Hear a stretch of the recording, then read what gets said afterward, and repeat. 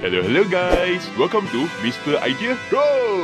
Wah, betul ke sekarang ni ada rotek secara online? Daftar macam biasa dan korang mencari app ni di Play Store ataupun di App Store. Nama app ni ialah MyJPJ. Tengok memang banyak features dia. Korang boleh tengok lesen, korang boleh tengok saman dan korang boleh tengok lah rotek korang tu. Bila korang buka app tu, korang cari simakan lesen kenderaan dan tekan kat situ. Dan bila dah klik, korang boleh masukkan IC korang dan korang boleh tengok rotek korang secara online. Tapi kalau kereta company dan kereta warga asing masih memerlukan stiker. Sebab saya bawa mic ni ke mana-mana, boleh saya record video ni. Now you know.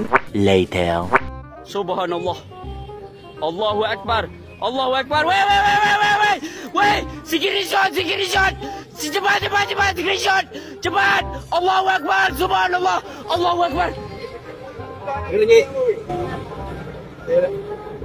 Ada, ada. ada, ada, ada. Oh, bos. Ini saya jumpa orang pertama dalam polis.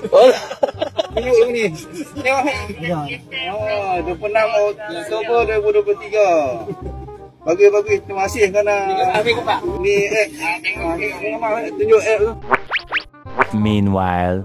Kak, Rotek mati berapa tahun baru kena puspakom? Untuk Rotek expired kena 3 tahun, expired baru kena pus, uh, inspection puspakom.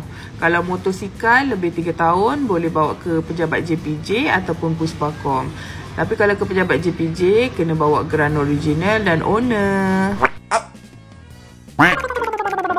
Okey, itu sahaja untuk hari ini. Jangan lupa like, comment and subscribe untuk punya channel. Jumpa lagi di video seterusnya. Mr. Idea Go.